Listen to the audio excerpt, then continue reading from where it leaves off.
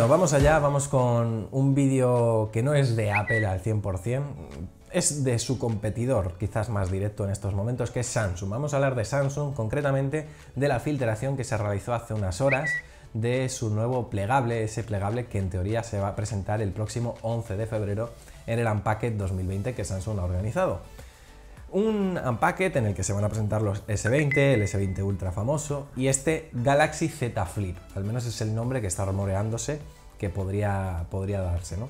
El vídeo que, estáis viendo es un vídeo que subió a su red social Ben Geskin, no sé de dónde lo habrá sacado, entonces como no me he puesto tampoco a investigar la fuente de origen, yo simplemente remito a Ben Geskin, la fuente Ben Geskin. En la descripción tenéis el enlace para seguirle si queréis. Ahora, eh, quiero destacar un poco lo que me parece a mí este formato de teléfono plegable. Eh, y para ello también quiero eh, recapitular a hace un año, cuando se presentó el Galaxy Fold y di mi opinión también sobre el Galaxy Fold. Y esto lo hago para que no creáis que la opinión que voy a dar es porque me gusta Apple. No tiene nada que ver. O sea, a mí me gusta la tecnología principalmente. Y me gustan cosas que hacen los competidores, cosas que hacen Apple, pero no me caso con ninguno. O sea, al final nadie te regala los teléfonos, aquí tienes que pagarlos. Entonces, sinceramente, eh, yo creo que está bien que exijamos y que podamos elegir lo que nos guste en cada momento. A mí la idea del plegable del Galaxy Fold, el que se presentó hace un año, me gustaba mucho, porque era un teléfono y a la vez lo podías convertir en un tablet. Podías hacer las funciones de un propio teléfono, sí que es verdad, con mucho margen de mejora, sobre todo cuando estaba cerrado, el diseño no era muy bonito, pero bueno, todo es ir mejorando generación tras generación. Pero la idea original me gustaba. Era un teléfono que se convertía en tablet y sustituía una necesidad de ciertos usuarios que querrían tener también una tablet relativamente portátil para trabajar cuando están fuera de casa. ¿Vale? Te ahorrabas comprarte una tablet y lo tenías todo en uno. Este teléfono, este formato del Galaxy Z Flip, ¿qué aporta realmente?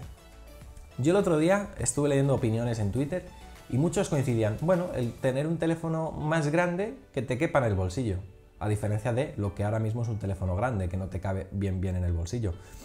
¿Realmente vamos a comprar un plegable para tener un teléfono más pequeño en el bolsillo? Esa es la reflexión que yo hago, o sea, hasta ese punto vamos a llegar, vamos a pagar un plus por tener un teléfono que se cierra, porque más allá de eso, cuando esté abierto, ¿qué aporta? Nada no aporta nada. O sea, es muy difícil que ese teléfono, primero, manejable con una mano no es, porque cuando veáis el vídeo, si lo estáis viendo ahora mismo, supongo, o sea, cuando está abierto es imposible manejarlo con una mano, vais a tener que manejarlo con dos porque es excesivamente largo. Luego, la proporción de pantalla que tiene priva de las principales ventajas que tienen los teléfonos grandes. Hoy en día un teléfono grande, ¿por qué se lo compra la gente? ¿Porque tiene más batería? Puede ser. Pero aparte de eso, pues porque puedes ver mejor los vídeos, puedes jugar mejor a videojuegos, puedes trabajar mejor en él. Pero es que esta proporción tan alargada de pantalla, primero, va a hacer que muchas aplicaciones no estén adaptadas. Segundo, los vídeos eh, no van a estar en esas proporciones. En vídeos eh, en YouTube se van a ver con unas franjas negras increíbles. Y Netflix, y HBO, y todos los servicios, porque no están adaptados a esas proporciones de pantalla. Entonces, realmente esa pantalla no se va a aprovechar bien. Y va a perder, al abrirse, las principales ventajas. O sea, al menos es así como lo veo, porque incluso a la hora de trabajar, o sea, creo que aporta más un teléfono ancho que un teléfono largo. Lo digo honestamente. Creo que estamos habituados a trabajar de izquierda a derecha o de derecha a izquierda, no de arriba a abajo. Entonces, mm, me cuesta verlo, me cuesta verlo. Igual que tampoco me gustaba el Motorola Raz, este que, también es de este formato así tipo que abre, que abre y cierra. Este no me gusta. Creo que me gustaba más la idea de ver un Fold 2, eh, que mejoraran esos puntos mejorables, que tenía unos cuantos del Galaxy Fold original, que este propio teléfono.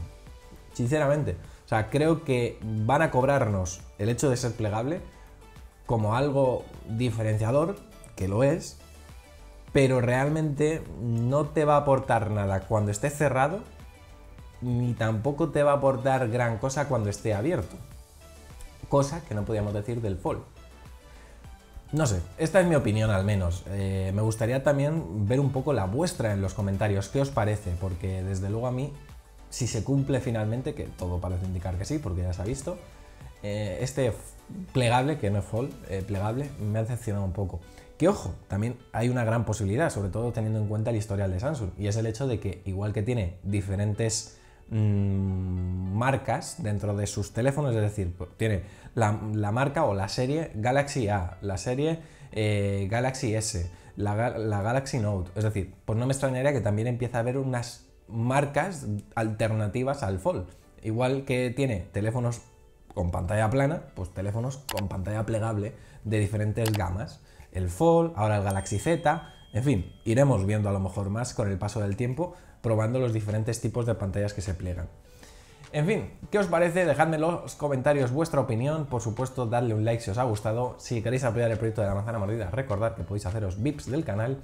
Y yo no me alargo más, me despido. Será hasta un próximo vídeo aquí en la manzana mordida, porque ya lo sabéis que yo soy Fernando y prometo hacerlo.